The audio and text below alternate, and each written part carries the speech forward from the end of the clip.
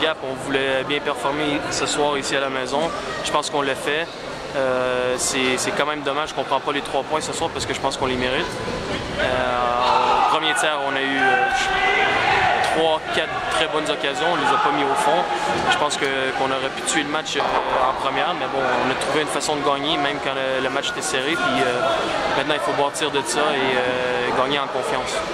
c'est vrai que vous avez fait preuve de, caractère. Hein. Vous, vous meniez dans, ce match euh, face à des Angevins qui n'ont rien lâché.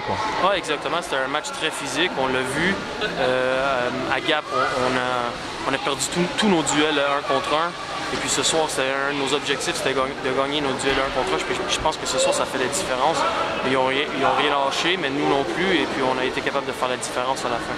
C'est une bouffée d'oxygène euh, par rapport à la huitième place, parce que Dijon et Strasbourg, ça, patine derrière. Hein. Oui, c'est sûr que regarde, euh, tout le monde euh, regarde un peu le classement. Mais nous, on est au point maintenant qu'on voulait faire des bonnes performances. Parce que là, on faisait une bonne performance, puis on a suivi avec une, très mauvaise. Donc maintenant, on se concentre sur les performances. Si on joue comme on a joué ce soir, on va euh.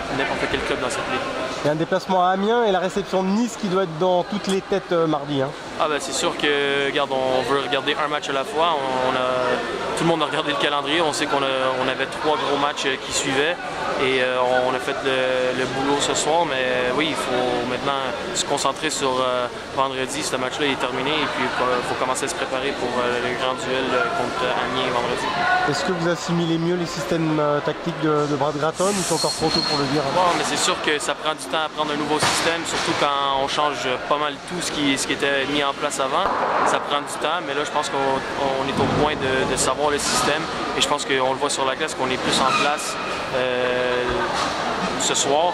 Et il faut continuer à travailler là-dessus. Puis c'est sûr qu'on va faire ça aux entraînements dans les deux prochains jours pour se préparer pour l'année.